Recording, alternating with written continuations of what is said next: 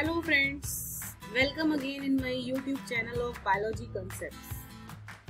आप सभी को पता है कि हम लोग ये video series specially class tenth students के लिए बना रहे हैं। तो आज का हमारा टॉपिक ऑफ़ डिस्कशन होगा transpiration versus guttation this topic is very interesting and for your board examination it is also very important तो चलिए हम लोग देखते हैं कि ट्रांसपिरेशन क्या है और गटेशन क्या है।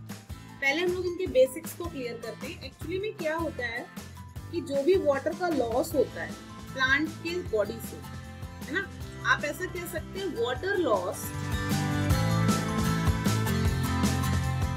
in the form of water vapour जब वाटर लॉस होगा, किस फॉर्म में? वाटर वेपर के फॉर्म में। तब हम लोग उसको बोलेंगे ट्रांसपिरेशन और अगर हम लोग गटेशन की बात करें स्टूडेंट्स तो गटेशन का मतलब जो वाटर लॉस हो रहा है, वो water loss in the form of water droplets हो रहा है। Water loss in the form of water drops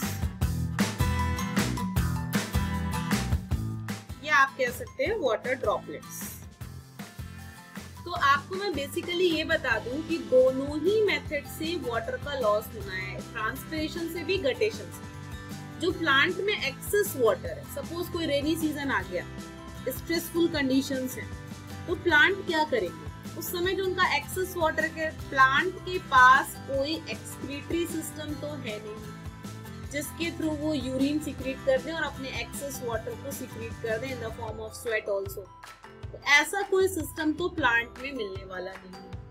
सबसे पहला बेसिक पॉइंट आप ये क्लियर रखें कि ये जो ट्रांसपरेशन और गटेशन है, ये दोनों ही प्रोसेस कहाँ पर होती हैं? प्लांट्स में। क्योंकि आपको पता होना चाहिए कि हम लोग ये वीडियो सीरीज़ चैप्टर वाइज बना रहे हैं आईसीएसई बोर्ड के अकॉर्डिंग और सबसे पहले मैंने बेसिक्स आपको बताए थे, उसके बाद बेसिक में मैंने आपको सेल बायोलॉजी सेल साइकिल और सेल डिवीज़न के बारे में बताया। फिर हम लोगों ने जेनेटिक्स पढ़ी। उसके बाद मैंने प्लांट फिजियोलॉजी का ओवरव्यू एक वीडियो में दिया। तो अभी हमारा प्लांट फिजियोलॉजी का ही यूनिट कवर कर रही हूँ अभी मैं। इसके बाद में फोटोसिंथेसिस पे आऊँगी ट्रांसप्रेशन को खत्म होते ही उसके बाद में प्लांट हार्मोन्स पे आऊँगी। तो हमारा प्लांट फिजियोलॉजी का जो लास्ट चैप्टर होगा वो प्लांट हार्मोन्स होगा। ठीक है फ्रेंड्स तो मुझे लगता है कि आज का वीडियो आपके लिए बहुत ही इंटरेस्टिंग है और बहुत ही यूजफुल भी है।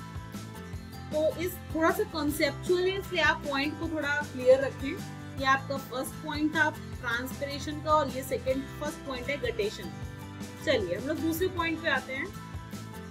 यहाँ पे वाटर वेपर में वाटर लॉस हो रहा है, यहाँ पे in the form of droplets हो रहा है। दूसरी बात हम लोग करते हैं कि यहाँ पे जो ट्रांसपिरेशन हो रहा है, वो या तो स्टोमेटा के थ्रू हो रहा है, या तो क्यूटिकल्स के थ्रू हो रहा है। आप ये देख सकते हैं जो ट्रांसपिरेशन के स्ट्रक्चर्स हैं structures which are involving for transpiration process या फिर लेंटी सेल्स हो सकते हैं। Lenticels old woody trees में मिलते हैं और stomata is very common structure for the process of transpiration and cuticle these are waxy deposition और अगर हम लोग गटेशन की बात करें तो guttation special pore like structures में होता है और उस पोर लाइक स्ट्रक्चर का नाम है hydathodes special pores called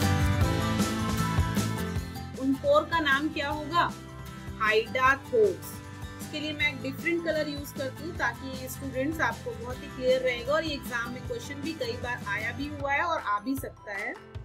कि name the special structure which is found in plants for the process of guttation this point is called this special structure is called hydathodes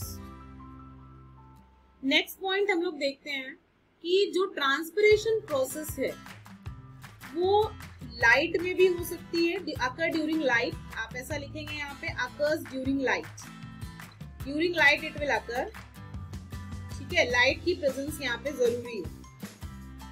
और temperature भी, ज़ाहिर सी बात है, अगर लाइट है तो टेम्परेचर भी हाई होगा। कहीं ना कहीं लाइट और टेम्परेचर आपस में कुछ ना कुछ रिलेशन रखते हैं। दूसरी बात, अगर हम लोग गटेशन के पॉइंट पे जाएँ तो ये गटेशन डिम लाइट में हो सकता है no problem occurring during dim light या फिर आप नाइट कह सकते हैं, और यहाँ पे जो टेम्परेचर की कंडीशंस होंगी, वो काफ़ी लोअर टेम्परेचर होगी. अगले पॉइंट की बात करें अगर हम लोग, कि जो वाटर लॉस हो रहा है यहाँ पे वाटर लॉस जो होगा water loss is pure water वो कैसा वाटर होगा? बिल्कुल प्योर वाटर इसका प्योर वाटर का मतलब यहाँ पे मिनरल्स एब्सेंट होंगे। नो मिनरल्स आर प्रेजेंट आप ऐसा ठीक है? मिनरल्स एब्सेंट तो यहाँ पे जो ट्रांसपिरेशन में वाटर लॉस होगा, वो प्योर वाटर के फॉर्म में होगा, जबकि गटेशन में जो वाटर लॉस होगा, वो मिनरल वाटर होगा। इस पॉइंट को भी आपको क्लियर रखना है। मिनरल वाटर का मतलब वहाँ पे कुछ साल्ट होंगे, कुछ शुगर्स होंगे, कुछ अमाइनो एसिड्स होंगे। नेक्स्ट पॉइंट हम लोग आते हैं, बहुत ही लास्ट पॉइंट है और बहुत इंपॉर्टेंट पॉइंट है। तो आप लिखेंगे ट्रांसपिरेशन के लिए लास्ट पॉइंट में, ज़्यादा ट्रांसपिरेशन होगा it will leads to wilting more transpiration ये मैंने सिंबल यूज़ करा है मोर के लिए। मोर ट्रांसपिरेशन ज़्यादा ट्रांसपिरेशन होगा then it will leads to wilting इससे क्या हो जाएगा? विल्टिंग हो जाएगा। और विल्टिंग का मतलब मुरझा जाना। ओके और अगर हम लोग गटेशन की बात करें तो गटेशन में क्या होगा? यहाँ पे जब गटेशन बढ़ेगा तो ट्रांसपिरेशन लो होगा। आप ऐसा देख सकते हैं कि गटेशन और ट्रांसपिरेशन आपस में इनवर्सली प्रोपोर्शनल है। They are inverse to each other अगर हम लोग इनके रेट की बात करें। Increase guttation is related to low transpiration अगर ट्रांसपिरेशन ज़्यादा है गटेशन ज़्यादा है तो ट्रांसपिरेशन कम. अगर ट्रांसपिरेशन ज़्यादा तो गटेशन कम. तो आप ऐसा कह सकते हैं, ये दोनों इनवर्सली प्रोपोर्शनल है. और यहाँ पे गटेशन में जो रूट प्रेशर होगा, वो भी हाई रहेगा.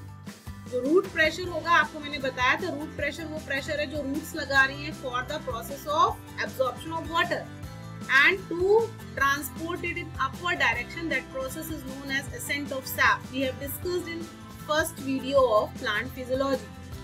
And we have discussed about all over transport system of water and minerals and food in plants in one separate video. So in that video you can go and refer to that video. Uh, if you don't know about root pressure and how water is going to transport in plant you can watch my that video that video is uh, about transport system of min minerals and waters and food in plant. तो यहाँ पे क्या होगा root pressure जो है वो बढ़ जाएगा उसकी वजह से विल्टिंग नहीं हो पाएगी। किस प्रोसेस की बात कर रहे हैं दोस्तों हम लोग? गटेशन आपसे कोई भी क्वेश्चन अगर आता है स्टूडेंट्स की ट्रांसपिरेशन में विल्टिंग होती है या गटेशन में विल्टिंग होती है? तो आप आंसर उसका देंगे ट्रांसपिरेशन और विल्टिंग का मतलब जब प्लांट वाटर को लॉस कर दे और वहाँ पे लीव्स में ड्रूपिंग होने लगे मुरझा जाए और विल्टिंग भी दो तरीके से हो सकती है तो परमानेंट विल्टिंग होती है या तो टेम्परेरी विल्टिंग होती है। टेम्परेरी विल्टिंग में हम लोग वाटर की रिकवरी कर सकते हैं। लेकिन अगर एक प्लांट कोई परमानेंट विल्टिंग में चला गया तो वो वाटर रिकवरिंग उसकी रिकवरी नहीं हो पाएगी।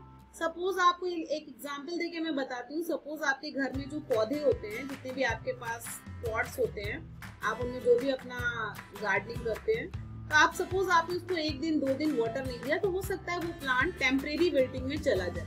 और सपोज़ आप आउट ऑफ़ स्टेशन चले गए टू मंथ्स के लिए या वन मंथ के लिए, उस सिचुएशन में अगर प्लांट को बिल्कुल भी वाटर नहीं मिला then they may go into permanent wilting और परमानेंट विल्टिंग में जाने के बाद आप उसको रिकवर नहीं कर सकते। तो मुझे लगता है स्टूडेंट्स आपको ये ट्रांसक्रिएशन और गटेशन का कंसेप्ट बहुत अच्छे से क्लियर होगा। अगर आपको अभी भी कोई डाउट्स हैं ट्रांसपिरेशन गटेशन या फिर transport system of food and water in plant तो आप मुझे कमेंट बॉक्स पे प्लीज़ लिख सकते हैं। Don't hesitate to ask your questions So you can write me in comment box and surely I will give you answers. So I hope friends we will meet soon and once again for continuously supporting me and for continuously watching my videos. And if you like this video please hit the like button and share with your friends. Thank you friends. Bye. Take care.